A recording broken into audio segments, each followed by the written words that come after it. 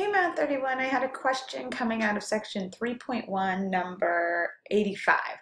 So let's take a look at this one. It says, hey, graph this, this function, put it on this domain, and then see if you can figure out the range for it. So let me head over to my y equals. I've got the x squared in there. I'm going to clear this out. Now, there's a couple ways to get cube roots. If you hit your math button here, you'll see option four says cube root, right? We have this square root button over the x squared term, but in your math menu, you have a cube root um, because those are pretty common. So Texas Instruments program them in. If you had something like a fourth root, you would hit option five here. So you see it says the x root. So you could do option five if you had anything beyond a square root or a cube root. But we have a cube root, so let me go ahead and hit option four. And I want to do the cube root of x. Now, since this is a math problem, I'm just going to reset my window. I'm going to go to Zoom 6. And there's what your basic cube root looks like, it's or a cube root function. It's one of those toolkit functions, so we should know its general shape.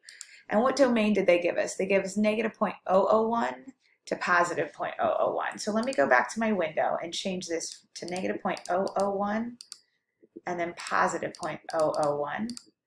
And let me hit graph. I don't want to hit zoom 6. If I hit zoom 6, it's going to reset the x min and max back to negative 10 to 10.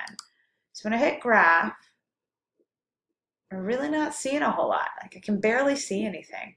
So what I want to do is figure out what are the corresponding y values when x is negative 0.001 and when x is positive 0.001. To do that, I'm going to go into my calculation uh, menu and I, am going to do second and trace to get there. Let me calculate this value. So option one. So let's plug in negative 0.001, right, and let's see what y value we get back out. It looks like we're getting negative 0.1. So let me go back to my win. Well, let's try positive 0.0, positive 0.001. But let's keep this in mind. It was negative 0.1. So let me go back here, and let's try another one. Let's try positive 0.001. And what are we getting? 0.1. All right, so for my window, let me scroll down here and change this out. Let me make this negative 0.1 and positive 0.1 because those were the numbers we were getting. Let me hit graph and now I can actually see what's going on. So that would be my window that I needed for my range. I need at least my y min to be negative 0.1 and my y max to be positive 0.1. You could go above and beyond that if you wanted, but you saw when we went too far, it was it was almost impossible to see the function.